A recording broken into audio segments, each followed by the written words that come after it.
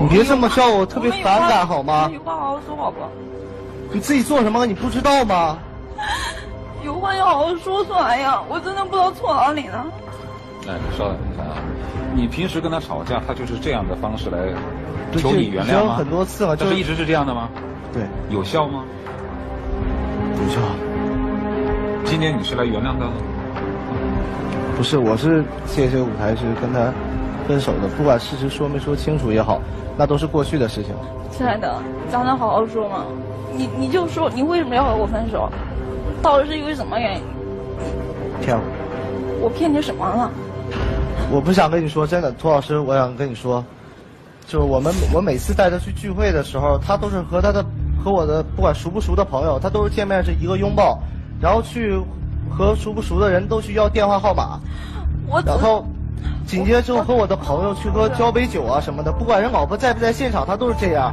我只是想和你朋友尽量打成一块尽量打成一块用不用怼脸贴着脸照相用吗？我的兄弟，我的朋友和我说过多少回多少次了，说你能不能告诉你老婆一声？我当时让我的面子往哪里搁呀？我那次我知道做错了，做错了这种事儿是一次两次了吗？这种事儿是一次两次了吗？多少次了？你在咱家楼底下拉拉扯扯的，他手都搭到你腰上了，你知道吗？清楚了。你能不能别再演了？能不能别演了？别逢场作戏好不好？我到底演什么？难道我在你面前就是演戏吗？之前你嘴里面发生了什么？跟别人拍照啊，这些所有你不能忍受的事情，他通过这种哄的方式都把他哄过去了，是吧？对，我之前都是跟他好好去说。那为什么这次就哄不过去了呢？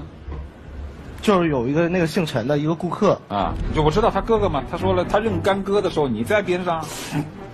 对，我是不想驳他面子啊。但是那天的事你让他自己好好说一遍。那天你到底干嘛去？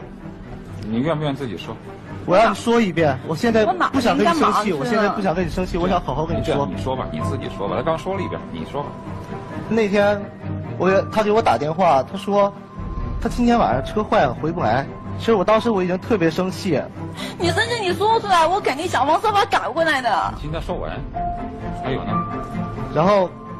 紧接着之后，我刚要嘱咐他两句，我说你少喝点，别喝多了，因为他胃口就是特别的不好。然后我刚要挂电话，我完了他这边就已经跑去跟电话没有挂断，然后我就听那边说一个男人跟他说要去泡温泉，但是之后他从来没有跟我讲过，然后我还。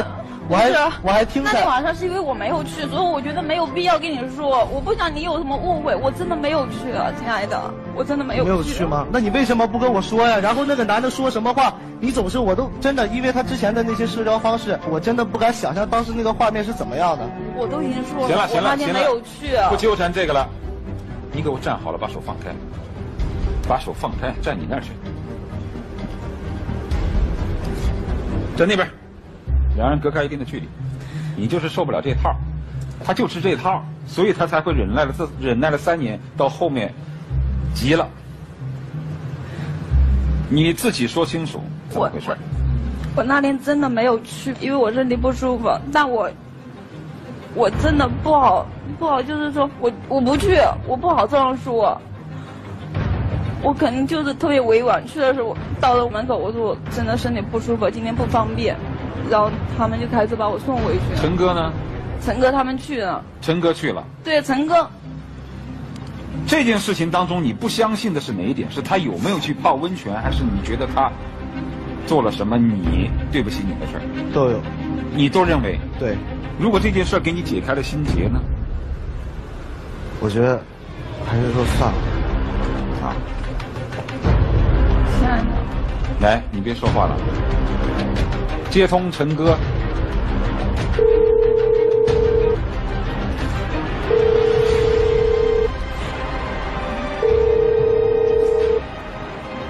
喂，喂，你好，是陈浩吗？呃，你哪位啊？呃，完美告白的录制现场。喂，陈哥，我是红雅。呃，红雅。嗯，真的不好意思打扰你。啊。我不知道你还记不记得上个月八号我们出去吃饭。啊啊。我和于强有点小误会，因为那天我没回家。我希望你能给他解释一下，那天我我到底有没有和你去泡温泉？小那个小小鱼跟你在一起是吧？对对对。哦，那个小鱼，小鱼跟你说哈，那天是是是那天喝多了，是喝多点酒。后来那个我几个朋友说去泡温泉，然后当时那个红雅是把我们送到那个，然后他说他那个不太方便，就回去了。好，你觉得你的这个干妹妹啊，红雅啊，是个什么样的女人呢？呃，这个怎么说呢？我这样吧，我问两个问题，好吧？呃，这两个问题，一个是帮小鱼问，呃，如果有冒犯的话，啊、你不要介意啊。你跟红雅除了哥哥和妹妹的关系之外，没有其他的关系吧？呃，这个绝对没有。你有妻子了是吗？因为我我自己是已经结了婚的。啊，好啊，这个绝对没有。好。第二，如果洪雅是你自己的妻子或者是妹妹，以往在你和洪雅出去在应酬的过程当中，你会认为有什么不妥的地方吗？也没有什么不妥的，因为她洪雅这个，她是比较热情，但是我觉得洪雅是一个还是真的是比较有原则的人，嗯哎，她特别聪明啊，啊，好，谢谢你啊，再见。哎，陈哥再见。啊，多有礼貌，陈哥再见。聪明这两个字，实在是点出了有些做销售人员的精髓。像这样的女销售人员，天天游走在刀尖上，她觉得自己可以很聪明，可以在获得利润的同时及时的抽身，但她不知道，她每每天遇见的可能都是些老狐狸。你总有失足的时候，但到那一刻的时候，你才会认为聪明反被聪明误，但为时晚矣。这个女生冒险冒习惯了，她没有失过鞋，所以她认为一切都是安全的。但是恰恰基于现在有一些女孩子认为，我在奋斗的路途过程当中，以一个人生活非常苦、难以适应、生活残酷为由，而不断的让自己去忍受一些不尊重自己的行为。但是你要知道，这样的行为一旦突破了，你这辈子都会后悔。听了我们的对话，你明白了什么？你明白了你身边的这个女人是个什么样的女人吗？我不想多说什么，我还是要跟她分手，为什么呢？因为发生了太多太多事儿。你的意思是是指她的那些生活当中的一些轻浮的行为，你还是无法接受？对我已经跟她说了很多遍了。我觉得，如果要是我是一个男人的话，我的女朋友这样子，我觉得那就是秒杀呀，肯定马上分手。姑娘，你是究竟是太聪明了还是太傻了？我都说不清楚。他已经非常习惯这种男女之间这种有一点点小暧昧或者小亲密的这种举动，所以可能包括可能他应酬的时候呀，他会去用这样子他认为是一个很平常的一种相处方式，去跟每一个他所接触的男生有这样的一种接触。我只想替他说一句公道话是什么？就像陈哥在电话里面刚才说的，他说洪雅妹妹是一个很聪明的一个女孩，为什么陈哥会给他介绍一些？那个朋友去买他的珠宝，所以他非常的聪明，这只是他的一个社交手段而已。他也不是说我要刻意去给你一些暧昧呀、我喜欢你啊，或者说去勾引你来喜欢我呀、其实你在做任何事的时候呢，呃，一个女人也要考虑到自己男人的内心的感受。有的时候，当你去跟别人很亲密的互动的时候，你要明白，自己享受，他会难受；自己开心，他会恶心。那么，我真想奉劝这样的女生一句话：其实姿色从来不是女人的事业，事业才是女人的姿色。我想对男孩说，你为什么会容忍他，不去很严厉的去批评他呢？是因为你内心自卑，因为你知道，你给不了他这个依靠和安全感，所以他只有靠自己去打拼。如果说你可以有底气的站在他面前说，你这个工作别干了，在家待着，我养你，不准你这么穿，不准你这么喝，不准你出去，他还会这么干吗？你当初喜欢上他是喜欢上他什么呀？他的性格，我觉得你当初也是喜欢他这种豪爽的性格是吧？对，那为什么现在这种性格就不行了呢？因为现在我是她的男朋友，她当时啊，看，男人的劣根性就出现了。舞台上管你怎么样，只要我是个看客，你怎么样都可以。但一旦成为我的老婆，对不起，那就叫水性杨花，是这个意思吗？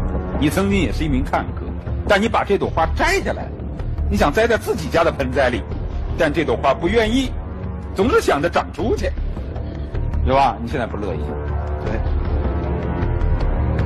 哎，所以我说你什么呢？你早就喜欢他这样的性格，而且在这三年的过程当中，你始终没有表现出自己的立场，跟他狠狠的谈过这些事情，所以让他误以为是成为了习惯和你的默许，才导致今天这样的一个结果。你好好想一想，想完了之后，你再做出你自己的判断，好不好？好。那行，那你站到这儿来，你站这儿，有话说话啊，把事儿说清楚。接下来是洪亚的告白时间。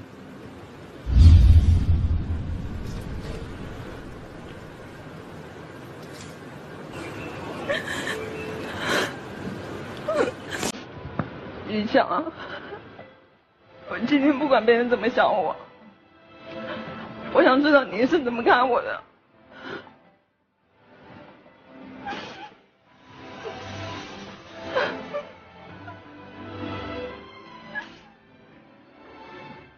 你不说话是吗？那好，我问你了，你今天一定要和我分手吗？对，为什么？整个事情我已经解释清楚了。你听我说，我们我们在一起三年，我觉得这个社会就是我爱你，你爱我就够了。这就够了呀。我一开始我特别支持你的工作，我看你每天晚上喝的醉醺醺的回来，我很心疼。但是直到那天我接那天那通电话，我才知道你的工作性质是那样的。你可以去找找一个更好的男人，不用像我这样，你可以过每天朝九晚五的生活，可以每天也不用再那么强颜欢笑面对那些顾客了。我觉得真的，我们分手吧，我们好聚好散吧，好吗？想，为什么？为什么像我这样女孩就得不到幸福？我只是不想再过以前那样的日子。